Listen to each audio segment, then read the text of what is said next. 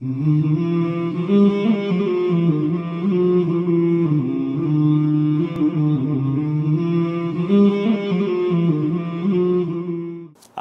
تھوڑا سا ہم ذا حضور صلی اللہ علیہ وسلم کے دور میں میں آپ کو لے کر چلتا ہوں۔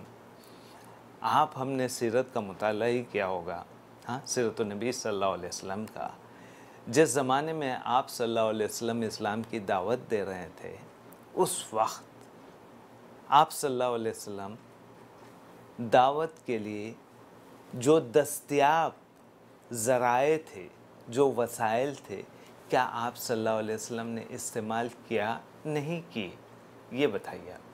آپ کا سوال ہوگا، آپ کا جواب ہوگا، یقیناً آپ صلی اللہ علیہ وسلم نے اس وقت کے جو دعوت پہنچانے کے جو بہترین ذرائع تھے، جو دستیاب ذرائع تھے آپ صلی اللہ علیہ وسلم نے اس کو اختیار کیا میں آپ کو بتاتا چلوں، آپ صلی اللہ علیہ وسلم نے اس وقت بازاروں میں جا کر اسلام کی دعوت دیتے تھے۔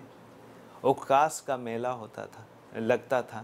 میلے میں جا کر آپ اسلام کی دعوت دی۔ صبح میں پہلے جب آپ نبی بنائے گئے، تو اس وقت آپ نے اپنے افراد خاندان کو اپنے گھر پر کھانے پر مدعو کیا۔ مدعو کر کر کھانا کھانے کے بعد میں آپ نے اسلام کی دعوت دی نہیں دی، آپ بتائیے آپ، ٹھیک ہے؟ پھر اس کے بعد میں آپ صلی اللہ علیہ وسلم خافلے جو مکہ مکرمہ کو جو آتے تھے، تو ان خافلوں کے پاس پہنچ کر آپ نے اسلام کی دعوت دی نہیں دی، آپ بتائیے آپ ہاں؟ یعنی الغرض کہ اس زمانے میں، اور پھر پہاڑی پر بھی چڑھ کے، اس زمانے کا جو معروف طریقہ تھا کہ کوئی شخص پہاڑی پر چڑھ کے اپنے بدن کا شرٹ اتار کر اور ہوا میں لہرائے اور پھر اس کے بعد میں اپنے نئے کہے کہ بھائی، دیکھیں، میں تمہیں خبردار کر رہا ہوں ہاں؟ تو آپ صلی اللہ علیہ وسلم نے ہر ہر طریقے استعمال کیے دعوت کے لیے، اسلام کو پھیلانے کے لیے، اسلام کی دعوت کو متعارف کرنے کے لیے، عوام الناس میں آپ صلی اللہ علیہ وسلم نے کیے۔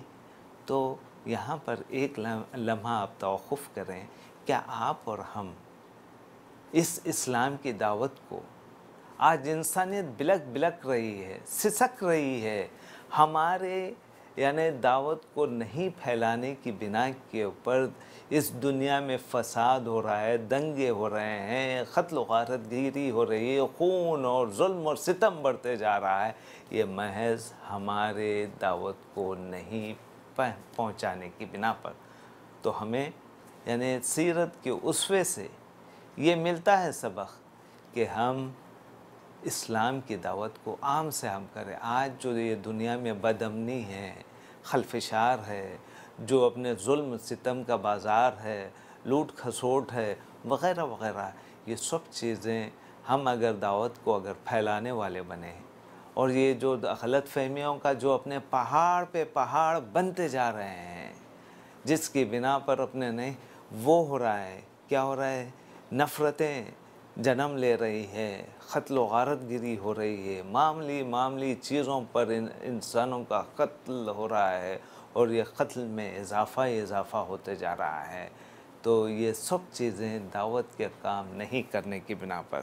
تو ہمیں یہ سبق ملتا ہے سیرت کے اس پیغام سے کہ ہم دعوت کے پیغام کو عام سے عام کریں، ایڑی چوٹی کا زور لگا دیں، جس طرح سے صحابہ، حضور صلی اللہ علیہ وسلم اور آپ کے پیارے صحابہ اکرام نے کیا۔